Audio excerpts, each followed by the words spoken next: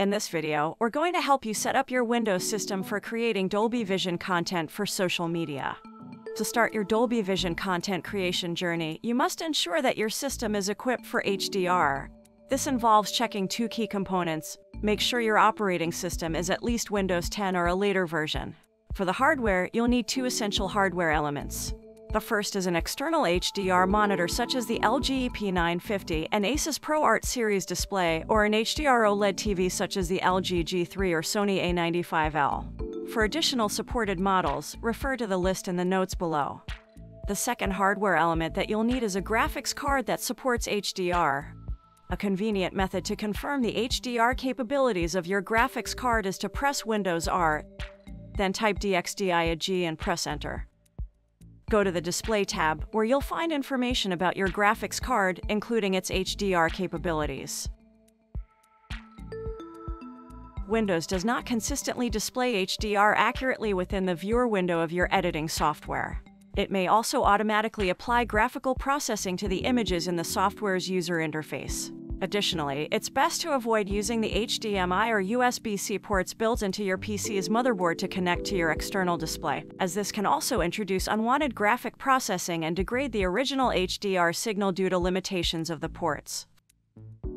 For accurate HDR monitoring, a secure and reliable option is to use a physical I.O. interface to connect your external HDR display to your PC. Companies such as Blackmagic Design and Aja offer various I.O. device choices you can opt for an I.O. card, which can easily be installed in the PCIe slot of your Windows workstation, or you can go with an I.O. box that connects through the USB-C ports on your Windows laptop.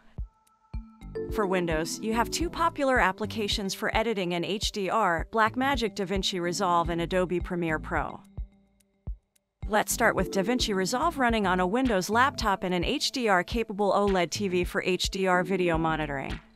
For this video, we're using a Windows laptop Lenovo ThinkPad P1, an LG C2 OLED, and a Blackmagic Ultra Studio Monitor 3G. First, connect the Ultra Studio Monitor 3G to the laptop via USB-C. It's important to note that the signal transmission of the Blackmagic Design I.O. box uses the Thunderbolt 3 protocol, so the USB-C port on the host machine must also support Thunderbolt. Typically, you can identify this by a small Thunderbolt logo on the port indicating Thunderbolt support. Next, download the desktop video firmware application from the Blackmagic Design website and install it to the DaVinci Resolve system. Afterward, navigate to Resolve Preferences, Video and Audio I.O. and configure the monitor device to the Ultra Studio Monitor 3G. Now connect the Ultra Studio Monitor 3G to the LG G3 via HDMI. To enable HDR mode on the TV, return to DaVinci Resolve and go to the Project Settings. In the Master Settings tab, select Enable HDR Metadata. Please note this feature is supported on DaVinci Resolve Studio only. For Dolby Vision editing, it's essential to configure the output color space to HDR PQ. When these settings are transmitted via HDMI, they will trigger the HDR TV to switch to HDR mode. You'll notice an HDR logo appearing in the upper right corner of the TV, confirming that the TV has entered HDR mode. When working with an HDR TV, it's important to disable the device's built-in dynamic image processing as this can degrade the original signal, making the image you're viewing on the screen not an accurate representation of the original content.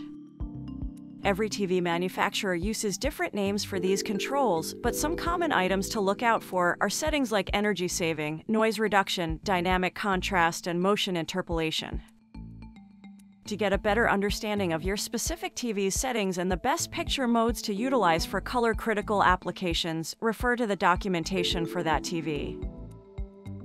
When working with a Windows workstation and an external HDR monitor, you have the option of installing an I.O. card into the PCIe slot of your workstation. Ensure that you also install the necessary firmware for your editing system to facilitate this setup. Then go to the DaVinci Resolve settings, select Color Management, set the color processing mode to HDR, and set the output color space to HDR PQ. Then navigate to Master Settings, set data level to full, and select Enable HDR metadata. These will automatically trigger the HDR display into HDR mode for PQBT 2020 image monitoring. please be aware that if you are not using a Dolby Vision enabled Windows laptop, you will need a valid Dolby Vision license in DaVinci Resolve for Dolby Vision encoding. For more information on Dolby Vision enabled laptops, please visit our website. Moving on to Adobe Premiere Pro, it's equally straightforward. Go to Edit and Preferences. Under Color, make sure to enable Display Color Management and Extended Dynamic Range Monitoring. Then, in the playback settings, choose the connected Blackmagic Design I.O. device, click on Setup, and configure the color gamut to Rec 2020 PQ. Now you're all set to create stunning Dolby Vision content in Windows using DaVinci Resolve and Adobe Premiere Pro.